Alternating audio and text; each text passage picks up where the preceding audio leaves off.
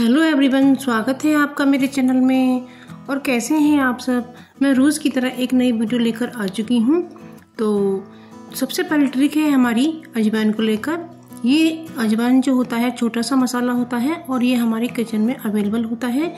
और इतना छोटा होता है कि हम सोचते हैं कि ये क्या काम आता होगा, लेकिन इसका बहुत काम होता है जब हम डीप फ्राई चीज़ बनाते हैं, समोसा कचौरी पकौड़ी या फिर पूरी तो उसमें हम अजवान को ऐड कर देते हैं तो वो हमारे डाइजेशन में फ़ायदा करता है, क्योंकि हमारा जो डाइजेशन होता है, वो स्लो हो जाता है और इस अजवान को हम इनाम तस्ते में थोड़ा सा कूट लेते हैं और इसे हल्का सा दरदरा सा करके डालना है। तो इसमें हमें अजवाइन को डाल करके गर्म पानी डालना है और इसमें हमें काला नमक ऐड करना है।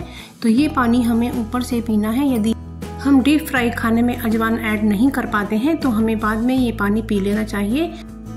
क्योंकि जो डीप फ्राई खाना होता है, वो हमारे पेट में सही से पच नहीं पाता है।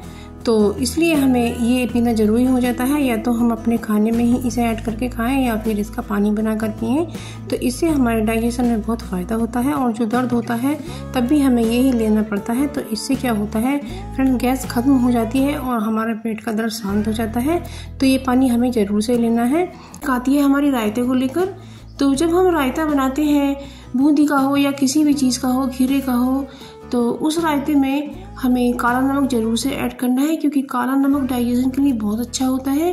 तो दोस्तों, अब हम इसे चम्मच से चला देते हैं और इसमें ऐड करेंगे हम थोड़ी सी काली मिर्ची का पाउडर, क्योंकि काली मिर्ची जो होती है वो इन्फेक्शन हटाने का काम करती है और ये हमें रायते में बहुत ही फ़ायदा पहुंचाती है। और ये लिया है हमने पुदीना।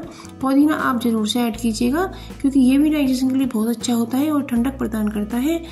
और ये पुदीना मैंने घर पर ही सुखाकर तैयार किया है। आप भी अपने घर पर सुखाकर तैयार करके रखें तो घर का पुदीना बहुत अच्छा होता है। और मैंने ये कुछ हरा धनिया पत्ती भी डाली है तो इससे हमारा रायता बहुत अच्छा बन जाता है तो आप ज़रूर से ऐड कीजिएगा। और ये रायता हमें डाइजेशन के लिए बहुत अच्छा होता है तो फ्रेंड्स, आप देख सकते हैं कि कितना प्यारा रायता बना है और हमने इस पर थोड़ा सा लाल मिर्ची पाउडर भी ऐड कर दिया है। ये ऑप्शनल है, आप चाहें तो डाल सकते हैं। तो गर्मी का सीज़न आ गया है और इनमें मक्खी मच्छर बहुत ज़्यादा आते हैं और ये हमारे बच्चों को भी काटते हैं, जिससे वो बहुत परेशान हो जाते हैं और उनकी नींद खराब हो जाती है। इसलिए हमने गैस पर रखा है तवा और उसमें हमने दो चम्मच सरसों का ऑयल डाला है यदि और उसमें हमने चार लौंग डाली है और तेज पत्ता हमने चॉप करके डाल दिया है, क्योंकि इसकी खुशबू जो होती है वो मच्छरों को बिल्कुल पसंद नहीं होती है। और हमने इसमें डाला है करी पत्ता। यदि आपके पास नीम हो तो नीम भी डाल सकते हैं, और हमने डाली है इसमें चाय की पत्ती। और इसको हम अच्छे से जला करके इसका तेल बना लेते हैं। हमने डाला है प्याज। प्याज की जो खुशबू होती है ना, वो मच्छरों को बिल्कुल भी पसंद नहीं होती है। तो इसको भी तवे पर जलाएँ और आपके पास लहसुन हो तो आप लहसुन भी इसके अंदर डाल सकती हैं। इसे दीपक में डाल देती हूँ और मैंने इसमें एक बत्ती भी लगा दी है। तो फ्रेंड इसका जो अरोमा निकलेगा ना तो उससे मच्छर भाग जाएँगे और मच्छर दूर दूर तक नज़र नहीं आएँगे। एक घरेलू खास रेमेडी लेकर आए हैं। तो हमने ले लिया है एक डिस्पोजल डिब्बा और इसमें हम डाल लेते हैं एक चम्मच गेहूँ का आटा। तो इसमें हमने ये बेकिंग पाउडर जो एक्सपायर हो चुका है, थोड़ा तो इसमें हमने थोड़ा सा ये ग्रेट किया, आलू भी ऐड किया है, क्योंकि चूहों को आलू बहुत पसंद होते हैं और ये आलू खाने के लिए आते हैं। तो इसमें मैंने थोड़ा सा विनेगर ऐड किया है। तो इसमें जो केमिकल होता है, वो चूहों को काफ़ी नुकसान पहुंचाता है और मैंने लिया है डिटॉल का हैंड सैनिटाइज़र यदि इससे भी चूहों को अंदर एलर्जी होती है और ईचिंग होती है और वो भाग जाते हैं और मैंने थोड़ी सी हल्दी और तीखी वाली लाल मिर्ची ली है। जब चूहे इसे खा लेते हैं तो उनके पेट में जलन होती है और वो बाहर की तरफ़ भागते हैं और चूँकि हम छोटी छोटी गोलियाँ बना लेते हैं। ये गोलियाँ बना ली हैं और इन गोलियों को मैं ऐसी जगह डालूँगी जहाँ पर चूहे आते हैं।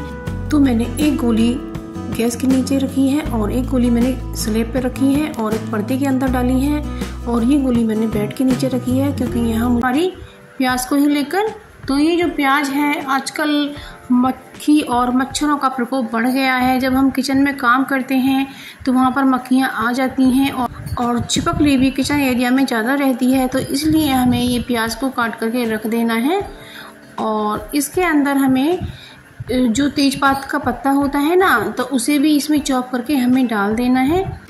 तो प्याज और तेज पत्र का पत्ते की जो स्मेल आपस में मिलेगी ना तो इससे मक्खी और मच्छर बिल्कुल भी नहीं आएँगे, क्योंकि इनकी जो स्मेल होती है ना, वो तो वो मच्छरों को बिल्कुल भी पसंद नहीं है। तो इसलिए ये ज़रूर से करके रखिएगा। तो इससे चिपकलियाँ भी बिल्कुल भी नहीं आएँगी और रात को भी हमें ये ज़रूर से करके रखना है। तो इससे आपके किचन एरिया में चिपकली बिल्कुल भी नहीं आएगी।